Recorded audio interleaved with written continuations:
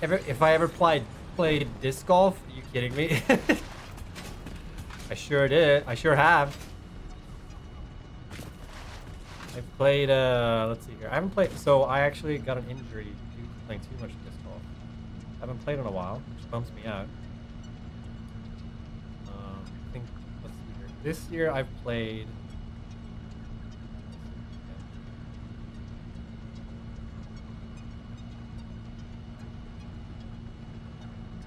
23. I have played. Wait. I've only played 25 rounds. That true.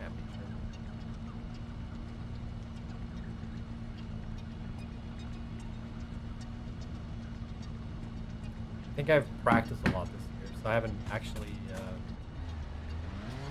updated my uh, scorecard when I was playing. I've definitely played more than 25 rounds. But uh, this year, my speaking of disc golf, I don't know if you guys knew this. Um, a lot of fun. Did I just run out of fuel? Where are the color cartridges when you need them? Anyways, uh, this year, I've always set like goals for myself for disc golf. Um, my first year, I've played for three years now. I think.